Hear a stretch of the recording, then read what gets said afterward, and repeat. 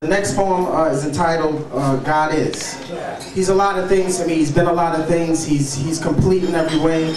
He's finished. He's done with his work. It's us that, you know, we, we have to walk into that. You know, we have to come to an understanding that he's there and we have to walk into that. So he's finished, but these are some of the things God is to me.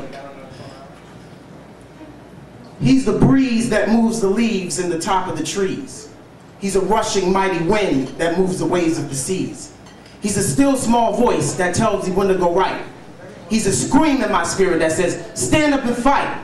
He's a pause in my thinking when I just know to be still, and he's the right choice in any situation when you focus on his will. He's big enough to be the author and perfecter of my faith, but still sees fit to come down and talk with me face to face.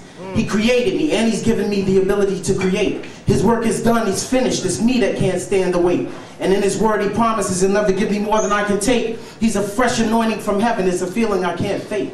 He's a holy hedge of protection the enemy can't break. And when life gets too heavy, he's the one who picks up the weight.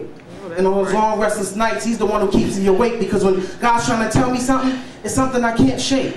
When all hope seems lost, he's that last minute miracle that lets you know and tells you without a doubt that God's hearing you. He's my skipper. Without him, my minnow would be lost. Because see, I pray whenever my tiny ship is tossed. When I was smoking cigarettes, he's the reason I stopped. When I got pulled over for a DUI, you guessed it, he was the cop. On my long list of priorities, he's the one who's on top. He's in the number one slot, top of the chart, cream of the crop. He's that call from my mother when I'm really depressed. He's that three-day weekend when I'm really feeling the stress. He keeps my spirit willing when I'm weak in the flesh, and he's the reason I look blessed when I'm really a mess.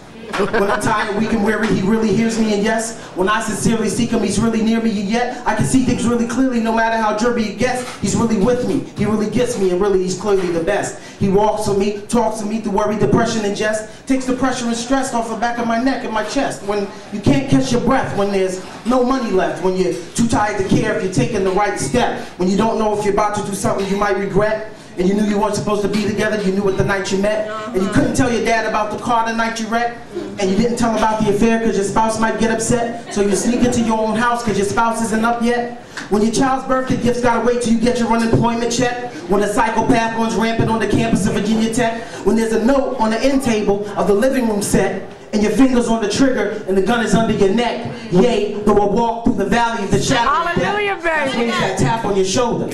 He's not finished with you yet. Go ahead. God is Father, Son, and Spirit, better known as the Trinity. And he knows every single trick being pulled by the enemy. His answer for that is peace, love, grace, and serenity. God's the same then, now, and infinity. Thank you.